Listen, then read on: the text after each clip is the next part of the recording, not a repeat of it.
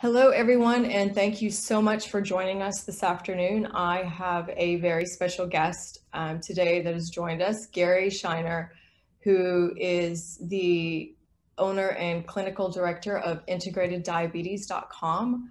I will just read um, his his bio to you, but his experience and expertise extends way beyond his biography.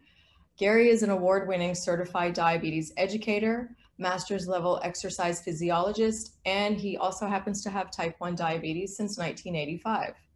Gary has dedicated his professional life to improving the lives of people with insulin dependent diabetes. He, in 2014, he was named Diabetes Educator of the Year by the American Association of Diabetes Educators, which is a huge honor and testament to his expertise. He also has a Bachelor of Arts in Psychology from Washington University in St. Louis and a Master in Science in Exercise Physiology from Benedictine University. He received his diabetes training with the world-renowned Joslin Diabetes Center, which some of you may be familiar with. Gary also serves on the faculty of many organizations such as Children with Diabetes. He's an active volunteer for the American Diabetes Association, Juvenile Diabetes Research Foundation, Diabetes Sisters, and Sete diabetes camps. He also serves on the clinical advisory boards for several diabetes device manufacturers and pharmaceutical companies. Gary has authored six books. You Can Control Diabetes, Think Like a Pancreas, which I recommend to everyone after they're diagnosed and people come to me and they say, what should I read? It's a must read. Um, the Ultimate Guide to Accurate Carb Counting, Get Control of Your Blood Sugar, until there's a cure, practical CGM, and diabetes, how to help, as well as dozens of articles. Gary is quoted often, frequently, all the time in many diabetes articles as well, and he's also published many scientific ones. Um, he also speaks to local, national, and international conferences on a multitude of topics in diabetes care. He's certified to train on all models of insulin pumps, continuous glucose monitors, and hybrid closed loop systems. And he has personally used every system that is currently on the market. You cannot get any, any more better expertise than that. Gary's also a devoted husband and father of four, and he enjoys exercising, especially basketball, bicycling, running, and weightlifting, and cheering on his local Philadelphia sports teams. Um, he is with us right now live in um, Pennsylvania, and we are so happy that you're here, Gary. Thank you so much for joining us. Well, thanks for that intro, Pam. I sound like a legend in my own mind when you put you it You are way. a legend. Are you kidding me? Not sound like you are a legend. I have your book right here. And I like I tell everyone on the call, it's just I can't express this enough. And I tell everyone that this book changed my life, which actually I should say changed Aaron's life and probably saved his life on a few times um, when my son was diagnosed, and that was back in the days when there weren't even really any pediatric endocrinologists here. And I went to the US, I got educated, I came back, and all I had was kind of the email um, of the wonderful doctor uh, that educated us or in his team. And I had nowhere to go. I had no answers. And during the day, it was the middle of the night in the US, I had nobody to turn to and I had seen back in the early days of the internet, someone mentioned this book, and I said, well, okay, you know, it won't hurt to get it. And what I found was so much wonderful information. Honestly, in the beginning, sometimes it was too much to take in all at once because you're just digesting the diagnosis, but it was able to really help me have a better discussion and ask kind of the right questions to Aaron's doctor in order to really understand what was going on and really learn more about it. So if you do not have this book, get it and buy all the other ones too, because I'm sure they're equally as amazing. Well, so, the new edition is is out. It came out a few months ago. Oh, I don't. I got to get you a copy. Yeah, I have an older one, but yeah. I still refer to it. We got to update because the technology keeps changing, even the medications keep changing, and so on. Uh, I saw Aisha's uh, child there with their Dexcom on their arm. I got one yeah. too. Uh, so does everybody here have a child with type 1 or is anybody, any adults with type 1 in the group? I am looking at the attendees. There may be some adults here. Um, I've advertised it in groups where there are some adults. I think most people on the call have a child with type 1. But so one, yes, I have two children. Yeah, Miriam is our rock star in, in our, our local group here with two children with type 1. Um, and okay, Reem, her, sis, her 16 year old sister has it. So kind of all across the spectrum.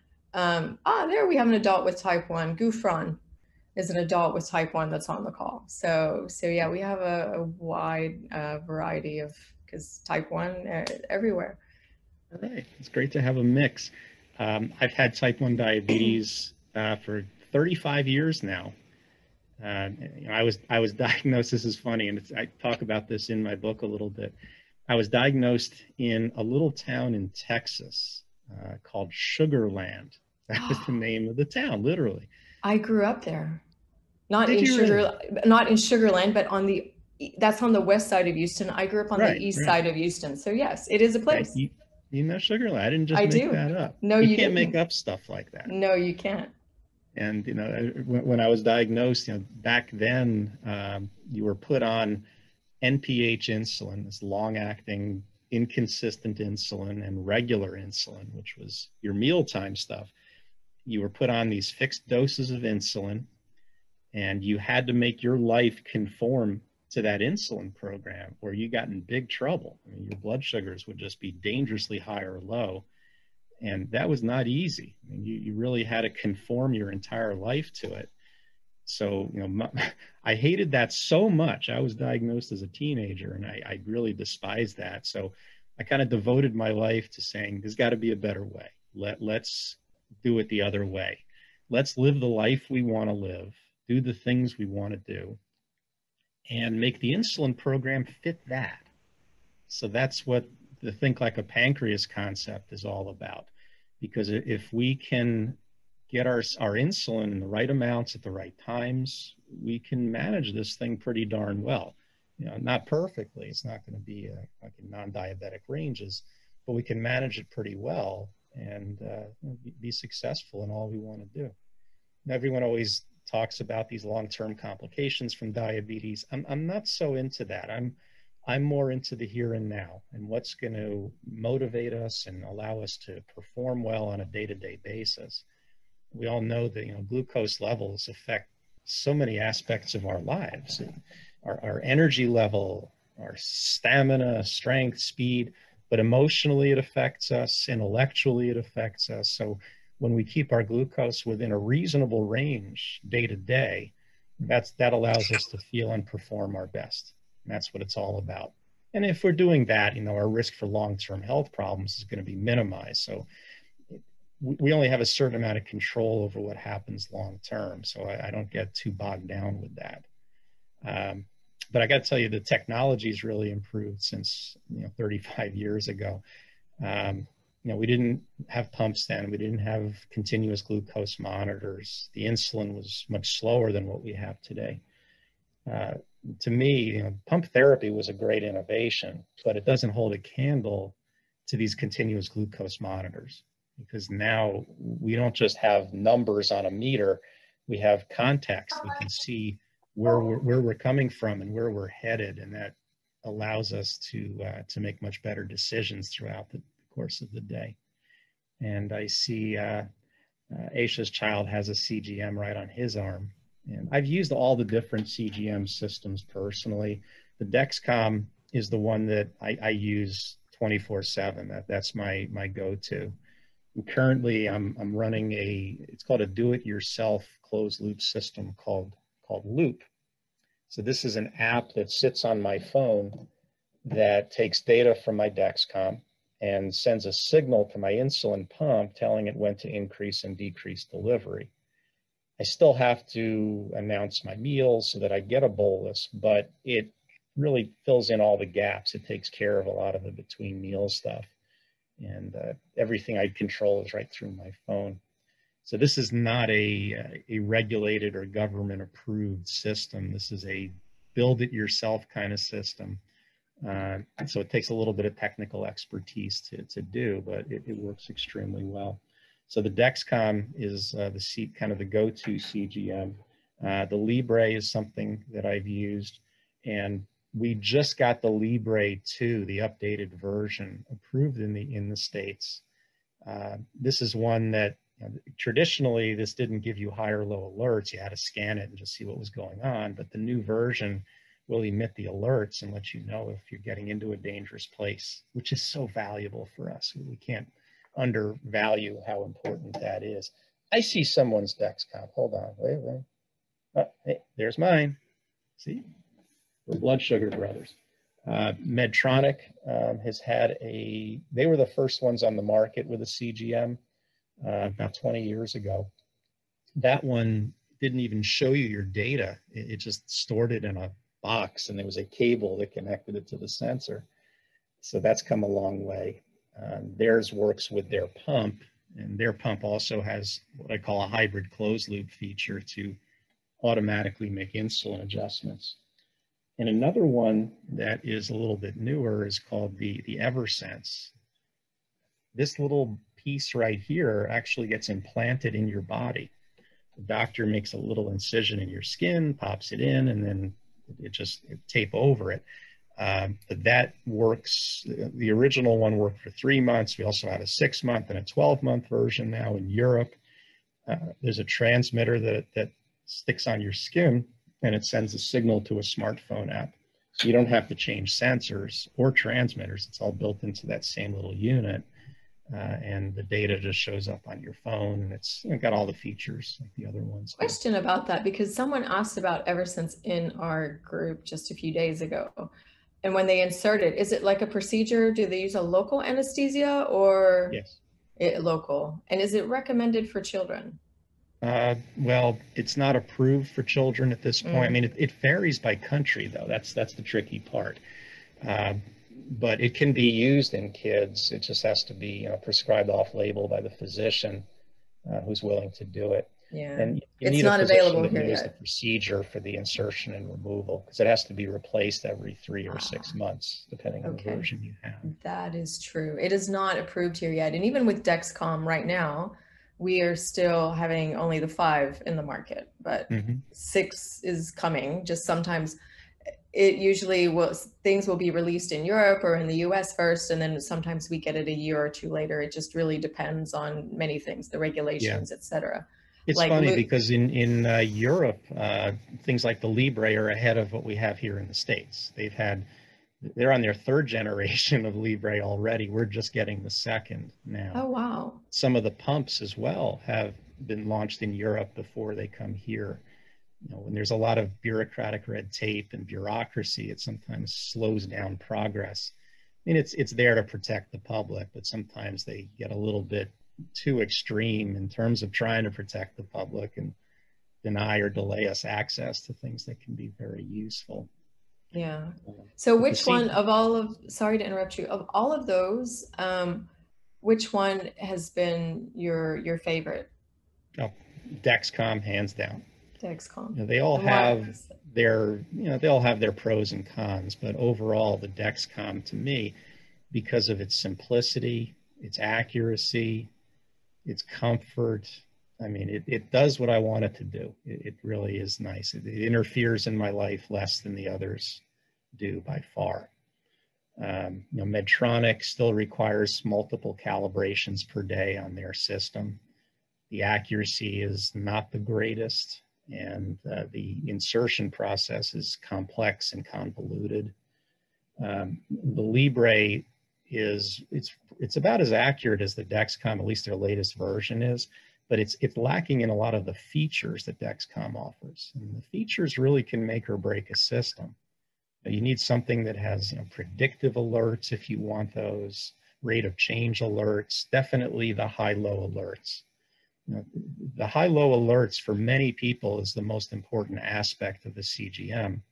Because I think most of us recognize we don't see our symptoms show up until our blood sugar is in a dangerous place. At the low end, you know, many people don't experience symptoms of hypoglycemia until they're well below a safe threshold.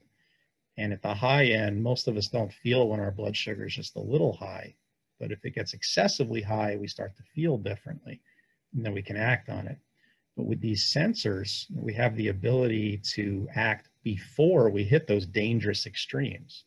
So as the glucose is just approaching a low, we can be alerted and then act on it and either prevent the low or minimize how low we get and how long we stay low.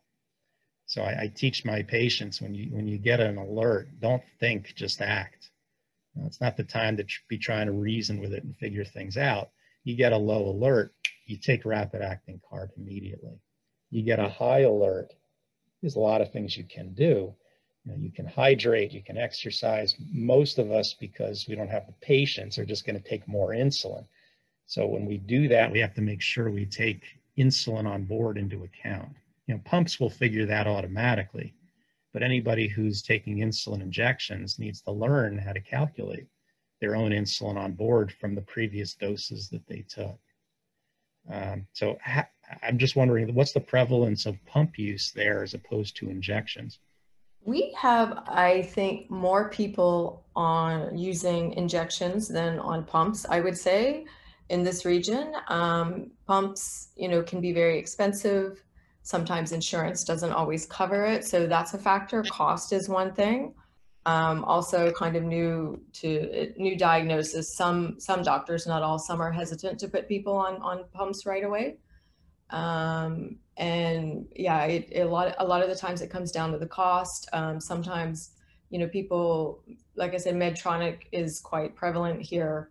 Um, my son uses Medtronic and it, it works well for us. And I do like the suspend on low feature and how I had kind of my wits about me to ask the question when we were selecting an insulin pump when he was very small. I was in the US, but I actually was able to remember to ask, well, what is available to me here? Um, and, and Medtronic has been in the market for, for a long time. Um, a lot of people are using Dexcom with injections. A lot of people are also using Libre with injection.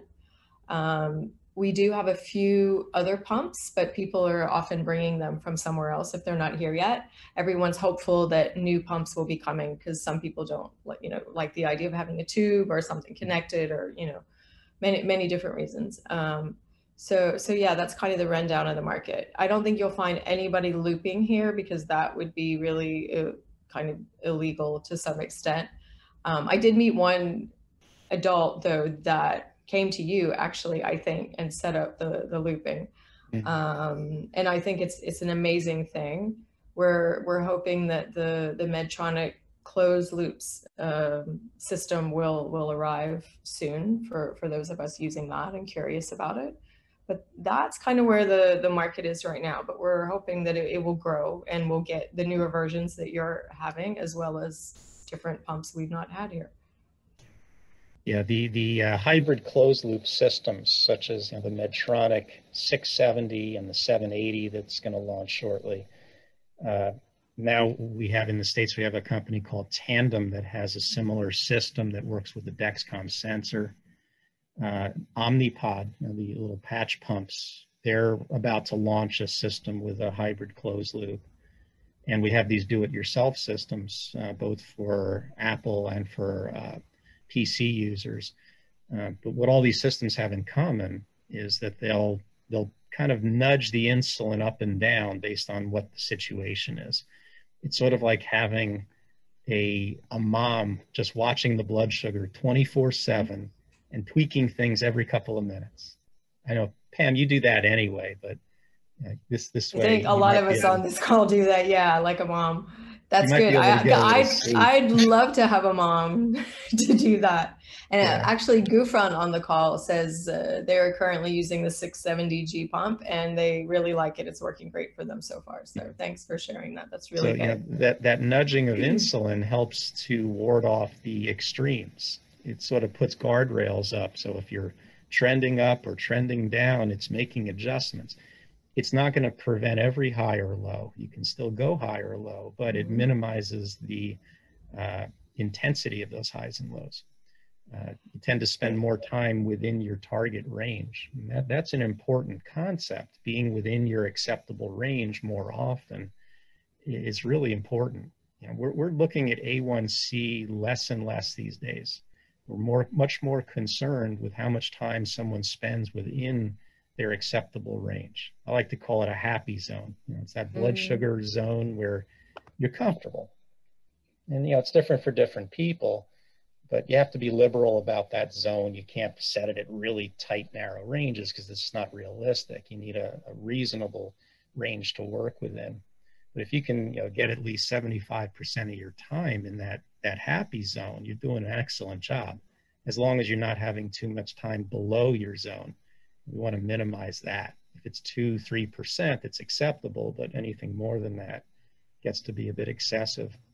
The CGM is you know, a wonderful tool for helping achieve that. Again, because of those high and low alerts, they give us an early warning that you know, it's like Will Robinson, danger, danger. Something bad may happen soon, and you can prevent, you can circumvent those things if you act on them quickly.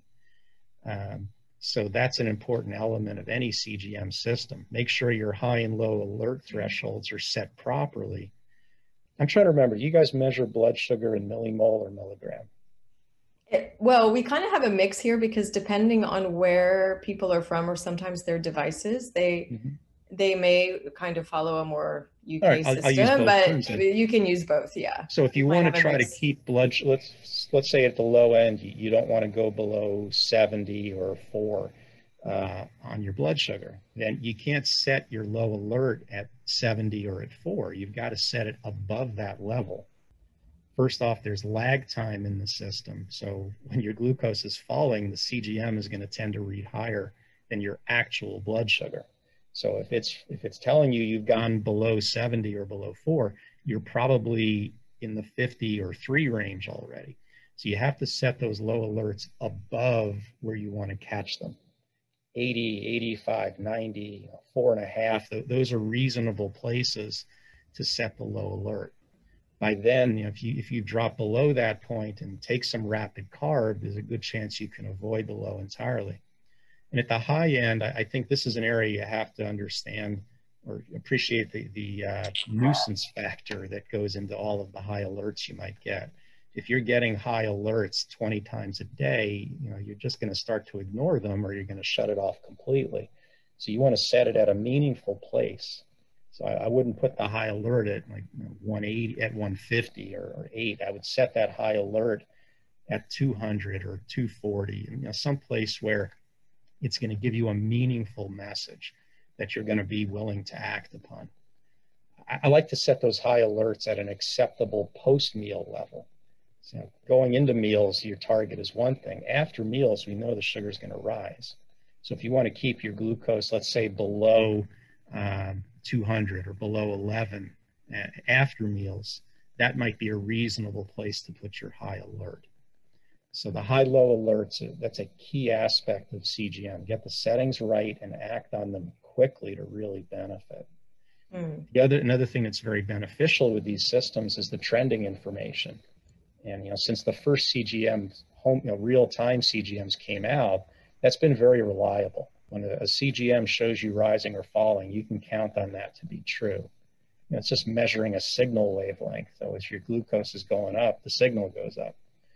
And you know, being able to make competent decisions throughout the day, it, it really helps to know what direction you're headed. I, I call it the context of your glucose. If you finger stick and your glucose is, let's say it's it's 140 or or, or uh, six or seven, it's it's great to know. Yeah, great. I'm 140 right now, but what does that really mean? Where am I headed? If I'm headed up or I'm headed down, you, you're going to think differently.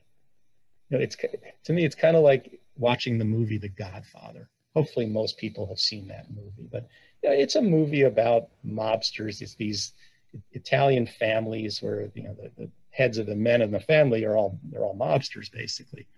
But if all you saw was one scene from the movie, a photograph of Vito Corleone playing with his his grandson in the garden, you'd think, wow, it's a movie about you know nice old people.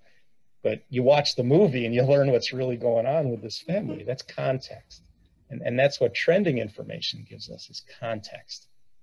So if you're going into a meal and your glucose is stable, you can take your usual insulin dose based on your carbs, your blood sugar, your activity. You, you figure your dose normally.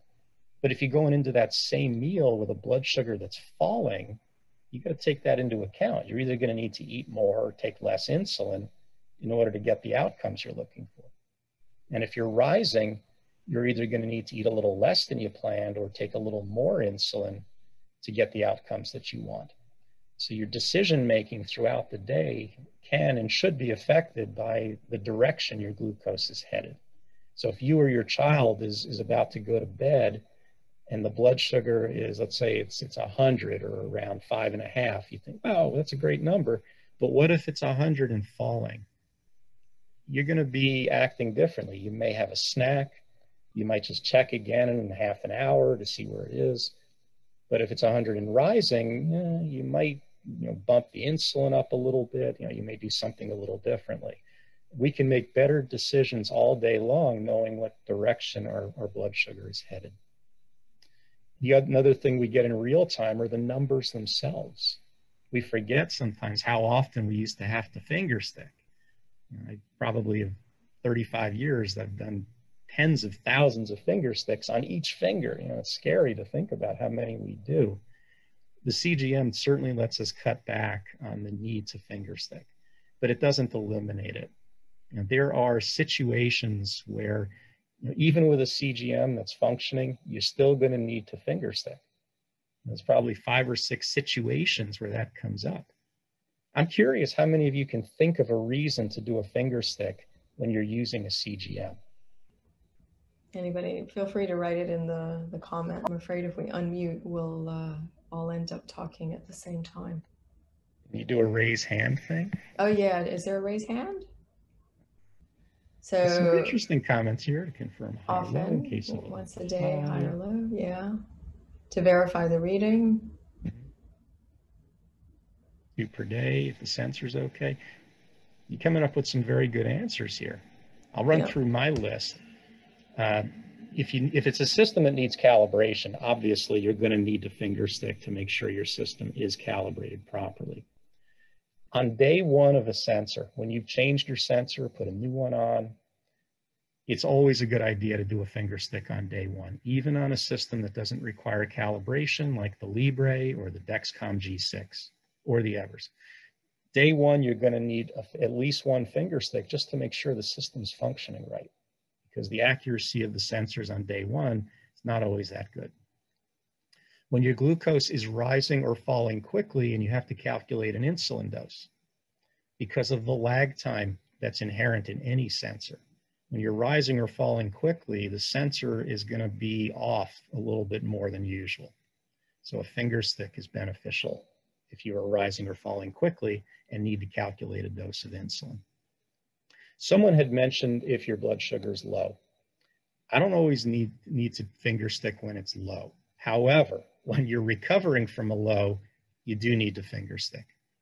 And the reason is that when you recover from a low, your sensor may take 30, 45, even 60 minutes to catch on to the fact that your blood sugar has started to come up.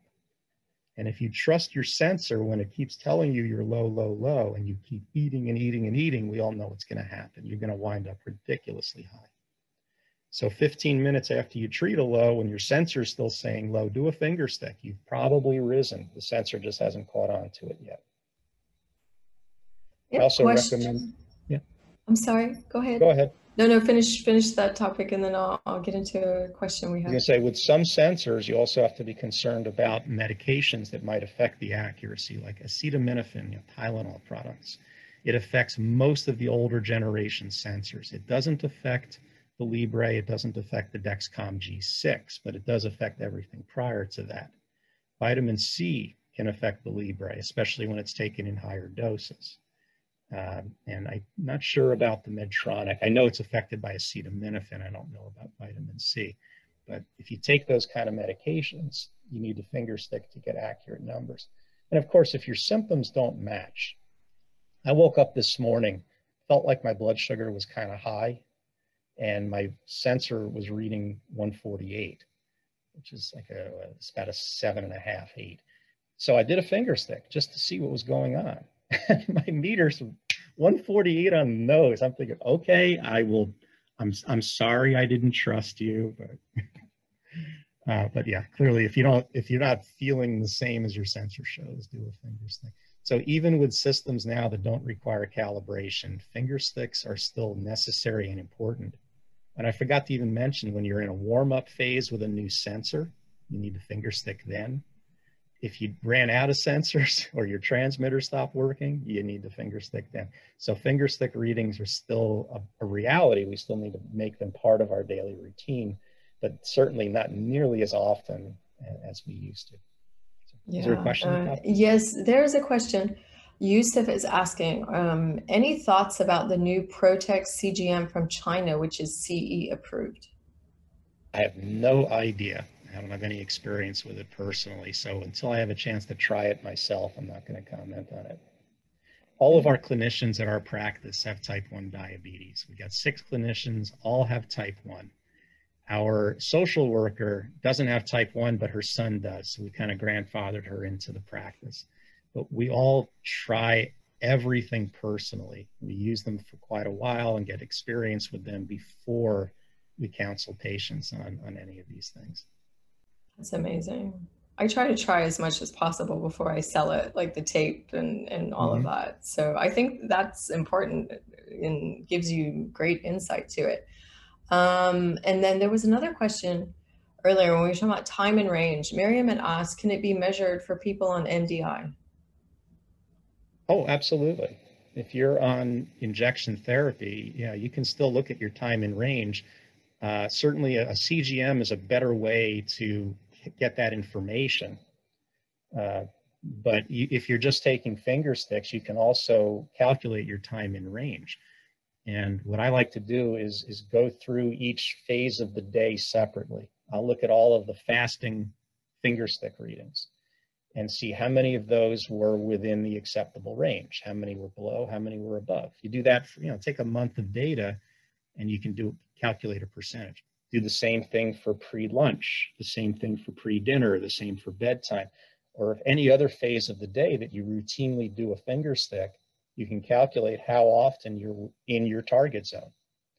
Uh, it doesn't account for what's going on after meals. It doesn't account for what's going on overnight, but at least you get a good sense of how your control looks at each phase of the day.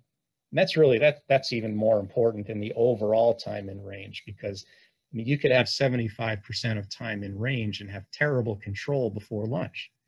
Uh, you might be running high or low a lot. So you know, one metric like time in range doesn't tell you everything. Personally, I like to look at the, you know, the details, the, the sensors. I look at these overlay reports that kind of superimpose multiple days on top of each other.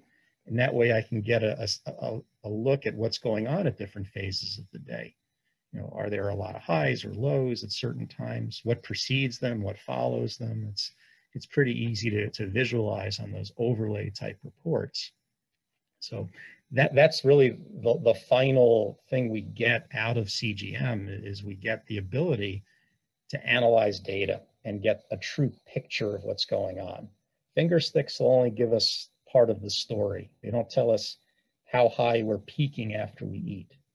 They don't tell us what's going on 2 a.m., 4 a.m., 6 a.m. during the night, unless you're up doing finger sticks all night. I hope you're not doing having to do that. Uh, so the, the CGM provides us that the whole the whole movie, the whole full context.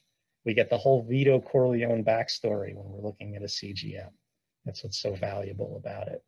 And yeah, that, that's an area I, I, I really love. And I, I wrote a book. Uh, it's mainly for health professionals, but it's about how to analyze sensor data and glean really useful insights out of it you know, most people are intimidated looking at those CGM reports and they can be complicated to look at. But I find if you break them down into small little chunks, look at specific things at a time, uh, you can gain some valuable insight from them.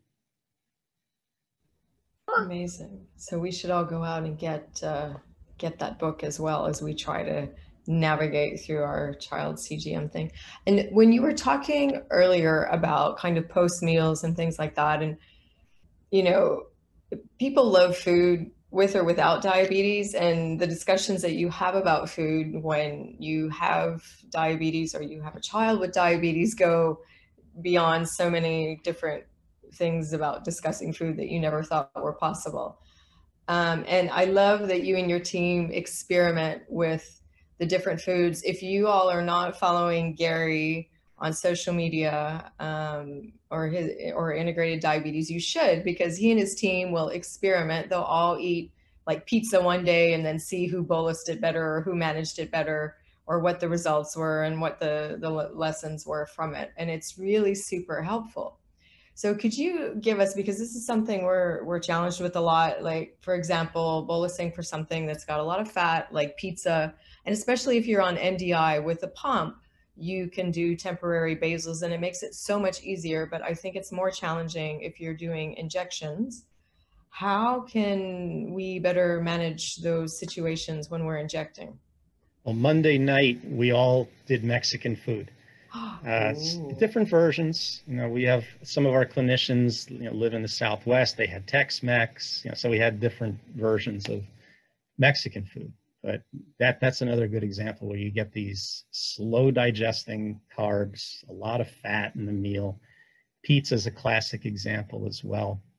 The thing people neglect to account for oftentimes is the fat content of the meal. So fat does not turn into sugar. It doesn't convert into glucose. But what it does do is it slows digestion and it causes some degree of insulin resistance It's kind of like getting type 2 diabetes for a few hours, where you, the insulin that you're getting just doesn't work as well as usual. And this is why if you go out to dinner or get a takeout meal for dinner, your blood sugar at bedtime might be normal or even a little on the low side, and then you rise all night long. That's the fat causing that to happen. So for those on pumps, the, the solution is to use a couple of the advanced pump features. You can extend your bolus don't take the whole bolus at one time. You can spread it out over a few hours so that the absorption of the food is matched by the action of the insulin a little better. But then you also have to raise your basal rate through the night to offset the effects the fat is having.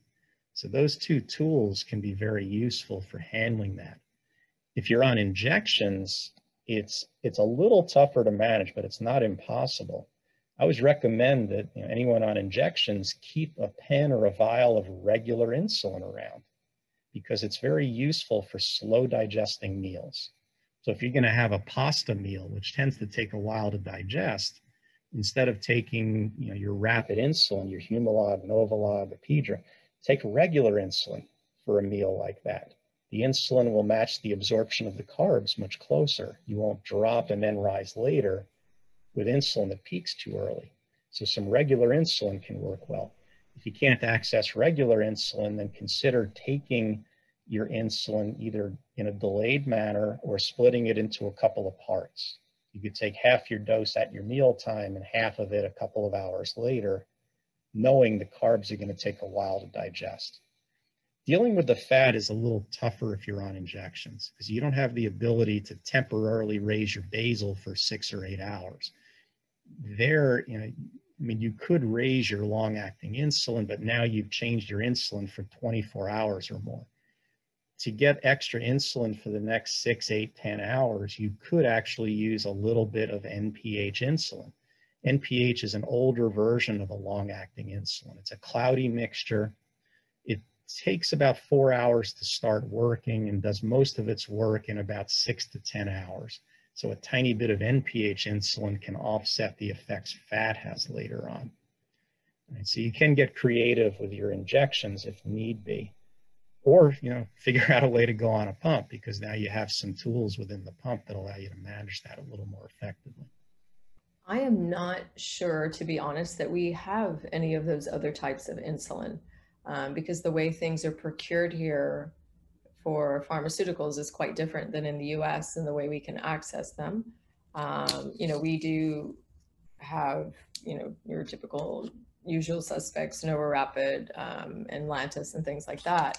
Yeah. But the other insulins, I don't think that those are available. Uh, anybody out there working in pharma industry might would know better than I would, and because I'm not injecting. Um, those are actually cheap insulins, regular and NPH here you can buy them over the counter for close to nothing because you know they're not the preferred forms of insulin. So if you are able to procure them, it probably would be very inexpensive to do so. Okay. Okay. So yeah, people out there might might have a look and Yeah. and But find. the strategy of, of taking your dose late for the meal or splitting it into two parts, that, that, that can work as well. I'm not sure how you could effectively manage that steady rise over you know, six, eight, ten hours that the fat causes. That's going to be a, a much more complicated thing to do. But honestly, if it's only once in a while that you experience that, um, you might just say, you know, don't worry about it. You run a little high overnight once in a while. It's not the end of the world. You know, kids got to be kids. Let them enjoy that kind of food once in a while. Um, and yeah, if you have a slightly elevated reading you know, one night, a, a, couple nights a month, that's not that's not so bad. Uh, it's a lot worse things that could happen. Yeah, that was really useful advice that I got early on, like the one-off day. And for a lot of the people that, you know, come with the question of, oh my goodness, this high, and what do I do with it? And I know those of you out there that have those frustrating days, the rest of their days are amazing, like stellar days. They're really, really, really managing it so well. Um, someone, uh, ah, Mohammed mentioned that NPH used to be subscribed here, but now most healthcare providers use the new long-lasting insulin such as Lantus, Tress and Lantus. It might still be available. The pharmacy may have to special order it, but you might mm, still be able to get yeah. it. The same with regular insulin. You may still be able to get it. And then Yas has a question. Um, some patients had experienced frequent sensor loss of Dexcom G5 if they calibrate regular regularly. Any thoughts on that? Well, the thing about calibrating is it should only be done when it's absolutely necessary.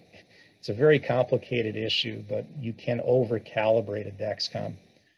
Yeah, twice a day with the G5 is still recommended, but um, I would, other than that, I would only calibrate if there's a significant discrepancy between what the sensor and the meter are showing. And to that end, make sure you're using a meter that's got very good accuracy. There are big differences between accuracies with different meters. But if you've got a finger stick that's pretty close to the sensor, don't bother calibrating. It's not going to do any good. But if there is a more than 20% difference, then go ahead and enter it in the thing I found that causes the, big, most issues with Dexcom accuracy is sensor placement. Now, the sensors generally work well on just about any part of the body. However, if you are putting a lot of pressure on the sensor, particularly at night, if you're laying on it through the night, that's going to affect it. You'll start losing data signals. You'll start having what are called compression lows. Uh, these are these are false lows where the Dexcom thinks, or the, whatever sensor, it thinks you're low only because the, the fluid below the skin, that interstitial fluid, is pushed away from the sensor because you're laying right on it. So it doesn't, it thinks your glucose has dropped where there's really just less fluid getting to the sensor. So those kind of fake lows can be avoided by wearing the sensor on a body part that you're not laying on or pressing on a whole lot. Another question came in. How any way to make the G6 work well in a slim four-year-old who doesn't like to drink water? Yeah. Well, with any any young child, any slim individual, I recommend putting the sensor on the backside, right on the upper buttocks. That, that's a good spot. Because even lean people have a little bit of a fat pad back there, and that can help it work better. Um, the companies only have quote unquote approved sites on the body for wearing these, but that's simply because they only tested them on those sites. They didn't test them formally and submit the data to the government using other body parts. It doesn't mean the sets the, the sensors don't work well on those areas. It just means they didn't bother collecting the data. I can tell you from experience, they work well just about any place on the body where you have a little bit of a fat pad under the skin. And with lean people and with young kids, the buttocks is a really good place to put the sensors. Nice. Any other questions? Because this is, I mean, this is amazing. And I know we can, we can continue certainly with, with Gary's discussion, but I want to make sure if anyone has any um, questions that they get them in before the top of the hour. Because I think you've been answering a lot of the questions on the way as you've been talking. Let me Um, uh, put, I'm going to type my email into the chat because if people do have questions after the fact, they can certainly reach out to me. Sure, that would be great. And while you're typing that, I'll read a question from Zaina. Any ideas other than Skin Tac recommended for placing on the skin before a G6 Dexcom? We're having some severe infection after a couple of days. Oh, well, Skin Tac's not going to help with infection.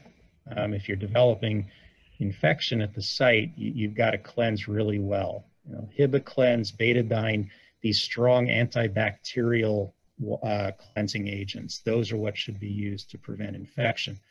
For adhesion issues, it's a whole different thing. With adhesion, over tapes tend to work better. Uh, Libre is a bit limited in what they offer. And the fact is, with the Libre sensor, there's not a lot of adhesive buffer around the sensor itself. So you may have to you know, cut out your own little hole on that and, and apply it. Dexcom has these over patches that they send for free to anybody who wants them. They have the hole pre-cut. You put this over the adhesive part of the sensor and it, it really does help. Another one I found very uh, effective are called Grif Grips. Pam, I don't know if you ever used these or not. Those I have not gotten a hold of yet. Right now, we're using Stay Put, and we also sell that here. I've had really, really good results with that because of the humidity, but I've heard really good things about these two. They, they have all these customized designs for the Grif Grips. But what I like about the Grif Grips, it's a cloth tape, so it's stretchy and it moves with your body. The adhesive has, is very gummy, so it doesn't loosen up when you sweat. So if, adhesion is a problem, this is good to go with. Yeah. If irritation on the skin is an issue, and this can apply to any CGM, any pump infusion set, if you're just having redness, itching, any inflammation where the adhesive is, what I'd recommend is using a barrier, not a wipe, but a piece of tape, uh, a dressing that goes right on the skin, and then you put your sensor or your pump infusion set right through that tape. That way the adhesive for this, the, the sensor or the infusion set doesn't come in direct contact with your skin. The barrier helps pr protect the skin. Um, IV 3000 is a pretty common one that people use. It's a nice hypoallergenic tape, but any kind of like plain paper tape, uh, sports tapes, things like that can work well also. You sometimes have to play around with different ones till you find one that works well. What you can do is a, a, a kind of a tolerance test get a few different adhesives, cut a little square out and stick it on the skin, you know, not with a sensor or a pump attached, just the tape itself and wear that for several days and then peel it off to see if there's any irritation or any redness that shows up. And Like Zaina a- was a asking, Experiment. yeah, absolutely. Zaina was asking, do you place the grip grip uh, grip before under before you place No, the sensor over. or It after? goes- Over. After you Yeah. insert the sensor, you put this over the sensor. And so it, it kind of holds onto the adhesive part of the sensor and seals it in place. Yeah, and I find things that are really quite gummy. It feels a bit strange to put it on, but in the weather that we have here in the GCC, it's amazing because I've tried a lot of other tapes, beautiful tape, love it, want to love it, and it it falls off even without a lot of strenuous activity just because it is so hot and humid here. So that one sounds like it would probably be be good for this environment. Yeah. Some, If you're using, uh, some people say that the sensor can get damaged. I never see the Dexcom, but the Medtronic can sometimes be damaged, in which case you can cut a tiny hole in that adhesive you put on the skin. And just the point where the sensor goes through, if you place it carefully, the sensor won't have to puncture through the adhesive. Uh, and that can save you from potentially damaging or crimping the sensor on insertion. uh, for when it's under. Um, and then Groufon says, we usually apply kind of the sandwich method, but unfortunately it, it damages the Medtronic sensor as that electrode gets broken when you insert it on a barrier. Yeah, I've never had to do that. We just put it directly in the skin. So, and it's because it's quite small, that part that is, is going in. So that would be understandable. Um, okay. Any other questions about sensors? or tapes or anything related to sensors? Because I've got a few more questions, but. I posted my website as well. Uh, anybody who would like some additional coaching, consultation on any aspect of your diabetes management and care, reach out. Our team works with people all over the world, just like this, through video, through phone, through data analysis from downloads. So you know, we, we can effectively coach you uh, wherever you happen to be. The time zones sometimes get a little tricky, but we've got patients in Australia and yeah, all over Asia, Europe. We can figure it out. It can be it can be tricky. Um, so going back to to food, what is what for you personally? I mean, I'm sure you've managed it and now you're the expert in all foods. But what did you find kind of initially for you was the most challenging foods until you got it well, all kind of it's out? funny. I think everyone has their kind of like their kryptonite food that no matter what they do, they just can't get it to work. I, I really struggle with popcorn. It's one of my favorite foods, and I really struggle with it. Uh, and is that movie popcorn? Yeah, yeah, mainly the micro, the stuff in the back of the microwave is a little easier. But you go out to the movies and get the popcorn. It's got a lot of fat in it. It's got a lot of fiber, so it's slow to digest. Um, so that's that's been a challenge. You know, I've been practicing and trying to get that right for years, and I still struggle a bit. Bagels sometimes give me a hard time also. I can weigh a bagel. I can know exactly how many grams of carb are in that thing still sends my blood sugar a lot higher than I'd anticipate. So something about bagels. And so here's a maybe a new challenge for you. Uh, have you and your team ever done any Arabic food challenge? We haven't, but that would be we'd have to find the restaurants around here. But that I bet you a, there's I bet you there's some good ones because I, am sure there's a a good uh, maybe Lebanese population in your area or other Arabic population and I'll for those of dietitians you... have. Um, we've got two dietitians on staff who try every kind of food out there. Okay. And I'm guessing they probably have some experience.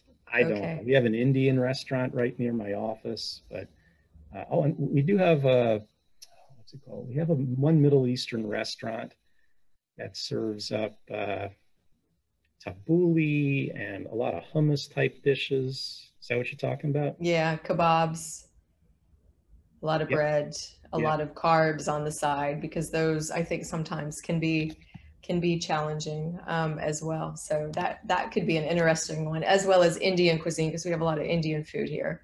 Um, the beauty of the UAE, we have a lot of different cuisines, but you know because a lot of the the published information about carbohydrates and all of these other things is in the you know kind of a Western diet.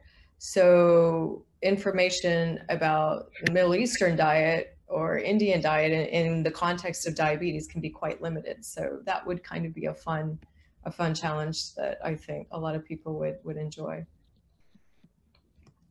We've yeah, done, people are asking. trying to figure out our next challenge. We've done pizza. We've done uh, ice cream. It was specifically it was Ben and Jerry's ice cream, which I don't know if you guys can get there or not. We can buy it here. Um, I don't think there's any freestanding Ben and Jerry's, but it is in the supermarket. Actually, that was a question to the the dietitian on the last call, and I think that person is on this call as well. Somebody asked, "What is the best time of day to have ice cream?" And I said, "Any time of day." But yeah, what is the best time of day? I think because at night it was causing some challenges with the blood sugar. So, is there an ideal time for ice cream? it'll cause the same challenges any time of day. But um, hmm. see, if you do it after a meal, you know, you're less likely, you know, like as a dessert, I think you're less likely to get much of a spike. But ice cream, depending on what it is, could be really slow to digest. Um, boy, I don't think there is a better time of day than another. They're all, like you said, they're all good times. What's your favorite yeah. flavor? For me, I'm kind of like vanilla, but anybody uh liven it up a little. I know, I know, but I do I'm into homemade ice cream. I love vanilla being a good vanilla or peanut butter. And and Aaron loves peanut butter. Like he he's like, Mom, make peanut butter ice cream. Go get Reese's cups and put it in. And I'm like, and already I'm thinking, I'm like, how am I ever gonna bolus for such a thing? But yeah, he, he loves, you know, the fat of the peanut butter, which Yeah, which is good. Sometimes that comes in handy. Exercise is different. The time of day you exercise has an enormous impact on a lot of things. But I, I don't know that, I don't think the food is going to matter as much. And we know if you eat something first thing in the morning, it's going to tend to digest faster than it will the rest of the day. But I don't see a lot of people just jumping out of bed and eating ice cream right. Well, maybe Aaron would like to do that if you gave him the option. I'm glad he's not on this call because we are not. I don't think we're going to do that, but I'll keep you posted if we do. One question that talking about breakfast very quickly. Um, someone asked a question in the group the other day. Their, you know, child has been eating pretty much the same breakfast every day, and then suddenly one day they get a spike out of nowhere. What what's happened to cause that to happen? Because the bread was the same brand of bread, the same kind of bread, same kind of protein. Everything was the same with breakfast, and then suddenly they're getting highs. What is what it could be? There's a lot of variables. In cases like that, it could be that the insulin wasn't absorbing as well as it usually does. Maybe it was absorbing late or not at all. Uh, and also be interested to know where they wound up three to four hours later. 'Cause if you spike after a meal and then come down, that's one thing. If you spike and stay high, it's another thing entirely. Um, so you know, I'd be interested to see a little bit more detail. But you know, this is diabetes. You, you can't always count on the same results two days in a row. Sometimes I say that the diabetes gods are out to smite us. Sometimes it just happens. And I think what you said is that you know if, if you have those occasional days or situations where the sugars are just not where you wanted, it's okay. You know, as long as you're doing a good job most of the time, those occasional excursions are all right. It's not going to you know do any major damage to you. So. Great. All right. Well, we are at the top of the hour, and I know you probably have a full day um, of you know meetings and seeing people ahead of you. So I want to make sure that uh, you know we we finish on time, and I want to thank everyone um, for for joining. Ah, someone's asking: Is Think Like a Pancreas available as an audiobook? Yeah, it is. Is Well, it? okay, no, no, I take it back. I tell you, it, it's an ebook. I don't know if it's an audiobook. It is an ebook, though. Okay, I would highly suggest to get the book or the ebook. I don't register information well as a in in ebooks. I didn't grow up in the digital age. I like paper books. I would highly recommend Think Like a Pancreas in a paper or ebook because there is so much information about understanding the data and things like that. It's not always really kind of like a conversational book because I think it's something you'll want to go back and refer to often. And in an audio book, that would be more difficult and challenging to find. It might be good to listen to it a few times to reinforce it, but if it is, still get still get the paper or ebook is what what I suggest. Because it's something to be studied. And I don't mean that in the boring kind of way. It's great for insomnia. no, no. Well, we're we have diabetic children we don't we don't sleep. It's okay. And nothing is going to put us to sleep. We'll probably stay up and devour it. So, thank you all um, so much for for joining. I really appreciate it and I appreciate all of you coming to listen to Gary and Gary, we thank you so much. This was so insightful. Um, like I said, we could talk to you all day and I hope that you'll come back in the future and share your expertise with with us again. Um, I, I'd be happy to. topics. You Thank got, you, a, so you got much. a great audience here. No, thank you. They're they're very lively and we're always you know full of questions. Um, so I'm sure that they'd love to have you back again as well.